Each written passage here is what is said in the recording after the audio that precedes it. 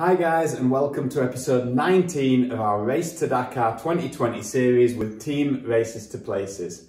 Here I'm going to spend a little bit of time with my teammate Matt Sutherland exploring some of the differences between the Dakar Rally and the Africa Eco Race and the experiences I had on each event. I hope you enjoy it.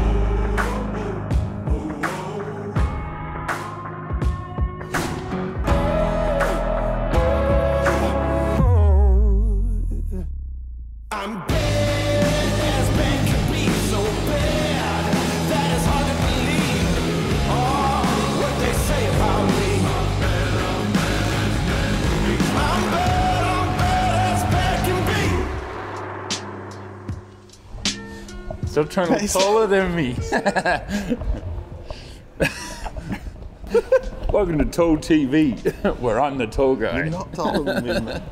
So obviously, for me, uh, doing the Africa Eco Race, this was my first big multi-day rally, um, and a lot of questions I've had from uh, from other people, and a question that I have myself is, how do you compare the Africa Eco Race to the Dakar Rally? Um, and you can compare that in a number of different ways, but I think uh, first I'd like to start off with organisation. Okay. Uh, well, obviously, I've done three different Dakars 2013, 2017, 2018. Uh, and every rally that I've done, every Dakar rally that I've done has been different in so many ways. So Yeah. they've all been in South America, um, but they've all been different in terms of level of difficulty, uh, and we'll come on to that. But in terms of organisation, uh, the, the organisation of the Africa Eco Race far like surpassed my expectations.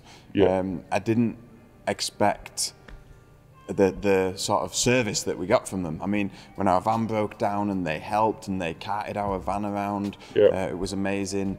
Uh, you know, just so helpful towards the competitors, and their goal is to get you to the end of the rally, which is everybody's goal at the race is to get to Dakar. So I really felt like the organisation want everybody in that caravan, in that train that are at the race, to get to the end.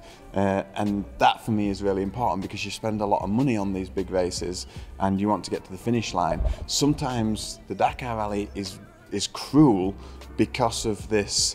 If you don't finish one stage, you're out of the rally. Yeah. And I know this year. I know you guys mentioned that when the when the van broke down. Obviously, um, the, the organisers were super willing to, like within half an hour, they, they were loading up the van, they were Yeah. getting it to the boat. Like they, they weren't not gonna let us not get to Dakar. Yeah, no, they wanted to help and they're there to do it. And, and that happened numerous times throughout the series, and you can see that over and over. If we talk about the facilities and things at the rally, the bivouacs, I mean, um, the, the bivouacs are very. Uh, the bivouacs are very locally featured. So, like, you know, there's lo- the locals put the tents up there uh, and the toilet and shower facilities and things. But that gives it the feel, the authenticness of Africa. You know, uh, they they're not posh facilities. it's Africa, all right. It is, you know. yes, at the Dakar Rally, sometimes the showers are hot, sometimes the showers are cold. At Africa Race, sometimes the showers that were hot, sometimes the showers were cold. I think that adds a certain part to it as well. You're in the middle of the desert in Africa. Like, um, you know, you're going to have to rough it at some point. And, and, you know, when this race originally started, that's what the guys were doing. They were out there on their own, exactly. roughing it for days on end. So I've- I've, I've found it actually quite good to be covered in dust and Mm. exhausted. And, and, you know, that, for me, that was a that was a great part of it. Yeah, and I think, you know, if anyone, this this is not like, um, you know, you don't go to these events to be pampered. You know, for me, it's not about that. It's about an adventure. It's about putting yourself through the ringer. You know. Yeah. It's a challenge. It's got to be a challenge, and everything. You, for me, it was just, it was good. You know, I really enjoyed it, and I have to say, the whole race as a whole, far like you know, exceeded my expectations, and I really enjoyed it. Yeah. So, what next? So uh, another thing, difficulty, terrain, uh, the days, like distances, uh, liaisons. How do you compare Dakar and Africa Eco Race uh, Yeah. with those type of things? Okay, so if I look at my Dakar 13, uh, I actually found it quite straightforward. It wasn't easy, but it was easier than anticipated, easier Yeah. than I expected. Uh, Dakar 17 and 18, completely the opposite, really brutal. Probably because I did Malle Moto, it made it more difficult. Um, but I think also the terrain. I mean, they'd really from 13 to 17, they realised that they needed to get more technical. The riding needed to be more technical. The difficulty level needed to be higher, and they really pushed it. And in Dakar 18, Yeah. there was some really brutal stages there. Um, and I think a lot of people, including myself, expected the Africa race to be easier. Now, what I can say about the Africa race is the first week was all about getting down to Mauritania. So you've got really fast, high speed stages in. Um, in Morocco, which typically were faster than anything I've seen on any other rally uh, around the world that I've done. So it was very, very fast first week, um, and but that, that also made it feel like it was in the olden days. You know, we saw the 950s ripping through the desert at 130 miles an hour. Yeah. and it felt like the traditional race. And then we got to Mauritania. And it was like, honestly, it was like a kick in the balls. Huh?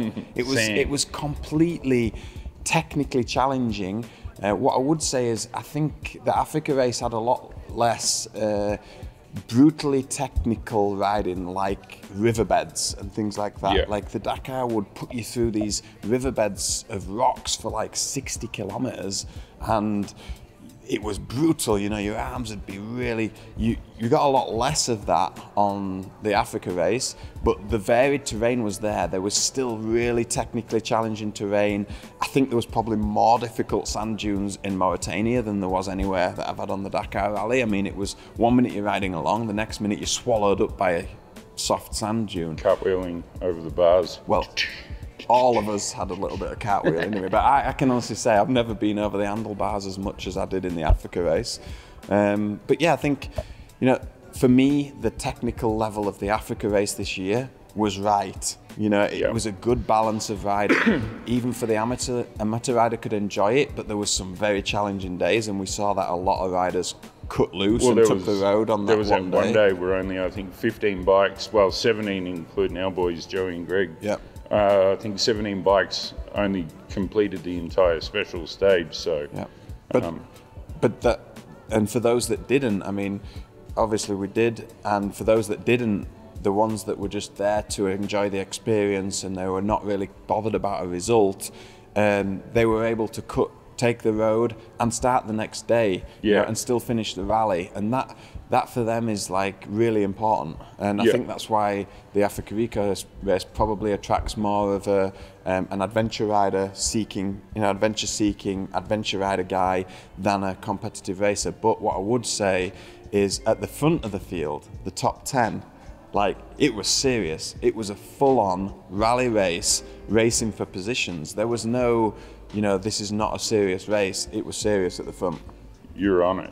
Yeah, it was uh, it was it was good. I really felt like it was a proper race, uh, and um, yeah, difficulty level was good, Well, terrain was good. Yeah, and you're battling it out with guys who are, you know, experienced and have really good results in Dakar in the past. So Yeah. I, know, I know for me, coming to a race like this and then, you know, being able to beat those guys on time in some stages and, be right up there, um, it's pretty cool because you know you always see see highlights and stuff on TV, Yeah. but to get out there and, and be able to rub shoulders with the best, Yeah, no, it was Um, it was great. I really enjoyed it riding up there, and uh, yeah, it was good. Yeah. Um, so, lastly, lastly, I want to compare uh, th- what differences you found in having a team uh, compared to Malle Moto.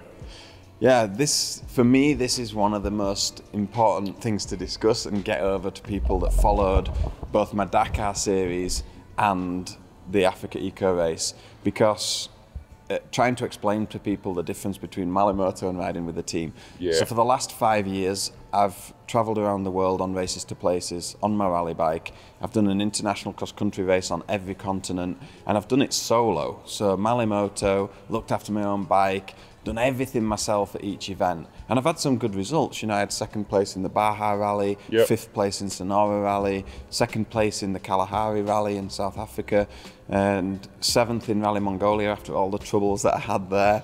Um, and I've, I've really had, and then the Dakar rallies that I did as part of Races to Places in Malle Moto.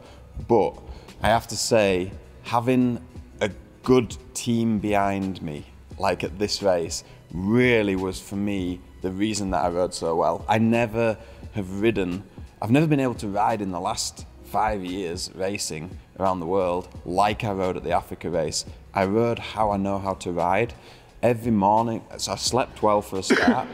I got up every morning and my bike was perfect. I knew Yep. it was right. I knew every change that I asked for had been done. And I knew I was going out on that day with a good night's sleep. I'd marked my road book well because I wasn't rushing. Yeah. And I knew I had a team behind me to give me the best bike possible. And I went out there every single day and I rode how I know how to ride. And that, that for me was the case in point that, you know, people probably look and say, well, you know, why did you finish where you finished in Dakar, like in the 30s? Uh, and then at the Africa race, you finished higher. Well, obviously, there's less competition here. Yeah. But to be riding with the likes of Pal Anders, Ullevalseter, uh, Alessandro Botturi, uh, both, you know, one, Pal, Matt Pal's Sutherland. Matt Sutherland. um, both of those front running riders and a lot of the others, the Polish riders, Yep. uh, some really fast, fast riders there. To be riding up with those guys who have had top 10 Dakar finishers, top, top 10 Dan- Dakar finishers back in the day, um, it was awesome. And I really felt like it was the team that helped me to do that. Yeah. So, A- big and I guess for, for you know doing Malle Moto in the past, you have to be ride cautious because any damages you do to the bike, like what I did, more often than not through the race, you have to fix yourself. So that's time off off your sleep and, and That's- so One thing that I, I talk about a lot in Malle Moto and I have previously is, is the snowball effect. So you crashed your bike, I can't remember what stage it was, and Yeah. completely trashed the navigation tower. You'd have literally been up all night repairing that. Yeah. Then you wouldn't have marked your road book, so you wouldn't have, and you wouldn't have got much sleep, so you wouldn't have rode as well the next day. That puts you back further in the field, which then makes it more difficult because there's more cars and trucks near you. Yeah. Then you put yourself at risk more, and then you get back to the bivouac late, and the snowball effect just keeps going. Yeah. And then you get more tired, you have more accidents, you break more stuff, and it's like a big, you know, it's the snowball effect. Yeah. And it just gets worse. And in Malle Moto, that's like, like it happens. As soon as one thing happens, it starts to get worse. Whereas with the team, you came in, you were still able to go mark your road book, eat your food, and go to bed because the team fixed your bike back to 100% and you're out the next day. Yep. So having a team behind you, and I have to say, the team that we put together, all the guys were there because they wanted to be there and they wanted to be part of team races to places. It made such a difference in the fact that everyone wanted to get all 12 people and all five bikes to the finish line w- at whatever cost. If they Yeah. had to stay up all night, like they were just. it- uh, they were just great. I can't speak highly enough for them. For me personally, that's what helped me to get a third place at the Africa race. Yeah, I think for me, you know, being an outsider and being able to come into a team like this, it was like walking into a family, you know, Mm-hmm. and everyone's, as you said, everyone's willing to, to do what they got to do to, to get us to the finish line, and we got there, baby. Yeah, So- and to have us all, I mean, unfortunately, we're not all here uh, today in Switzerland, but uh, to have the majority of the team together, uh, it's it's it is like you say, a family. We've we've just become really good buddies, friends for life, and I'm sure that as a as, Compadres. yeah, I'm sure that as a as a team. We will be getting ourselves together in the future again for something because it, Yeah. was, it was incredible. Well, hopefully these guys want to see more. Yeah. And then uh, we can bring it. Yeah, Don't we- you worry. Yeah, we, we've already got some ideas, uh, some ideas about future projects and all kinds of things. But uh, you know, these things they don't come for free. Um, No. it's, it's a lot of effort and hard work on everybody's part um, to pull this off, and especially to share the project with the public.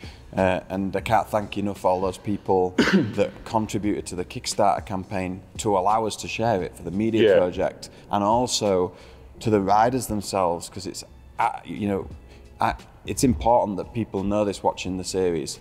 All the riders paid for themselves to be at that race. They paid for the support crew. They paid for the entries. There was no like huge factory sponsorship or anything like that. All of my sponsors that were part of Races to Places contributed in some way towards the team, and but the riders paid for themselves. The costs of the race were split five between the five riders, uh, and that's and, how we and did it's, it. I think, you know, for all of us, we're taking a month off work for, for our own businesses and stuff Yeah, too. exactly. So, you know, it does affect a lot of things, but I think, you know, to be able to come together and, and get it all done in the end with everyone's support is pretty damn cool. It's something we can look back on for life and Yeah, know? I, I didn't at the race itself. I didn't see any episode after episode five. I think it was because the one in the beginning it was fine, and then I just didn't have time to watch any episodes. Uh, but I sat and binge watched the whole series with Camilla and Earlier. editing guys did a killer job and too. it was amazing. Uh, it blows me away how we managed to share the camaraderie, the fun, uh, the whole elements of being a team. Nothing got hidden. We just shared everything as it was, and and I think that for me is really special for the followers and everything to see exactly what it was like to race the Africa Eco Race with team races to places. A bunch of mates, twelve of us. Uh, pulling something that we all wanted bad, you know, and making it right. Yeah, it was awesome. I think another thing to say too is like people look at the Africa Eco Race as you know sort of a lighter version of the Dakar Rally, but what they don't realise is the Africa Eco Race is the original Paris to Dakar. Mm. Like it is no joke. We are out mm. there busting our ass Yeah. through hundreds of kilometres of kick-ass terrain. Yeah. And the- it's And and the resources, if you think like at, at the Dakar Rally, they have multiple bivouac setups. So maybe they have two bivouac setups that jump each other every Yeah. day. Uh, that's another point actually. The liaisons on the Dakar. Uh, here, the whole rally, the service crews, and the whole bivouac setup travels six, seven hundred kilometers every day, Yeah. like the racers. So while we're off racing the stage, the whole bivouac is moving 700 kilometers at the same day. There's Yeah. no hopscotching of bivouacs. It's uh, it's it's much more challenging, I think, for the service crews here at the Africa race and the organisation. But it takes a really special individual, I guess, to put this authentic race on, which is the Dakar Rally. Well, it's the race to Dakar. You Yep, know? And I think massive credit to Jean-Louis Schlesser uh, and René Metge Yep. for having the vision of keeping this race, the traditional race from Europe to Dakar alive and making it like the success that it is today. It's growing every year and it's a proper race. And I, I was I was super happy with it and had, a, had an amazing time. And for me, it was challenging enough uh, and the experience was just amazing. So um, obviously, I, I read Joey Evans' book, and I've got a lot of friends who have raced Dakar. And one thing everybody always says is the liaisons in Dakar are huge. So you know, you might be up at 3:30 a.m.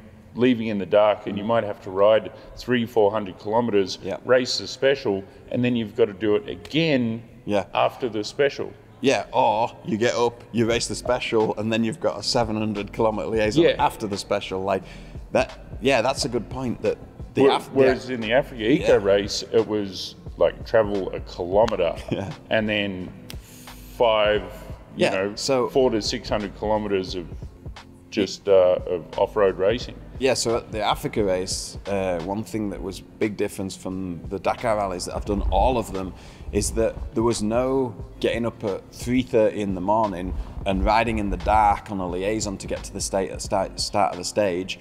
Pretty much, not always, because obviously there's some liaisons occasionally, but pretty much every stage, uh, the majority of the stages started from the bivouac or within a few I kilometres guess of the it bivouac. adds a lot of uh, lot of safety too Yeah, to the and, rally. And then you race a huge loop, and then you finish a few kilometers from the bivouac, and you've traveled 700 kilometers away while you've done your stage, and the service crews have also travelled 700 kilometres to the new bivouac. Um, so, from a riding point of view, we were getting up at a respectable time, um, going and starting the, the day in the daylight, and for most of us, finishing in the daylight. but uh, yeah, it was it was different in that respect because the liaisons were cut down, and I think that has a lot of effect on the riders from a, a tiredness point of view because um, you know you're not sat on the liaison for four hours in the dark in the morning or Yeah. a long liaison after the stage. That the liaisons were cut to a minimum, and I think that's a really good thing. Like you say, from a safety point of view, um, and also from a race, we come to ride rally and do stages, Exactly. not to sit on the road on for 500 kilometres on liaisons. Yeah, and I think for me, um, you know, I'm I'm gonna take on the Dakar in, in the future here, and it's and that's sort of the one thing that I'm not looking forward to is long liaisons. I, I haven't got the experience in these big rallies, but you know, when, when you imagine racing motorbikes from Europe all the way through Africa to Dakar, you know, you think it's going to be this rugged, just tough, crazy event. That's exactly what it was. It is, yeah. It was freaking wild, man. And you know what? I'd do it all again in a second. Pooh. I'm bad